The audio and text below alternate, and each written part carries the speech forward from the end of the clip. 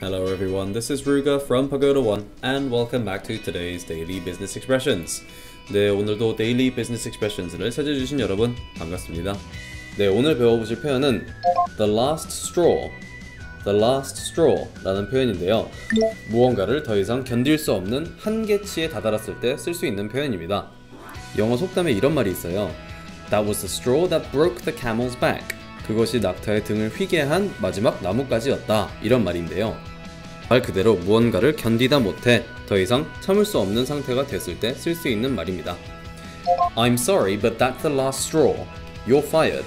미안하지만 더 이상 참을 수는 없다. 넌 해고다. 이런 상황에 쓸 수 있는 표현 last straw 오늘 배워보셨습니다. 네, 아래 나와 있는 장문 연습 오늘도 열심히 잘 해보시고요. 내일도 새로운 표현과 함께 다시 찾아뵙도록 하겠습니다. As always, keep up the good work, and I will see you tomorrow on Daily Business Expressions. Goodbye. Música